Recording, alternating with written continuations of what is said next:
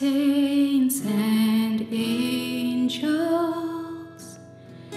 they bow before your throne, and all.